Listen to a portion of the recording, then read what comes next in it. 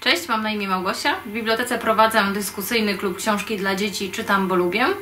Na początku czytamy wspólnie wybraną książkę, a następnie przychodzi czas na różnego rodzaju aktywności. Serdecznie zapraszam.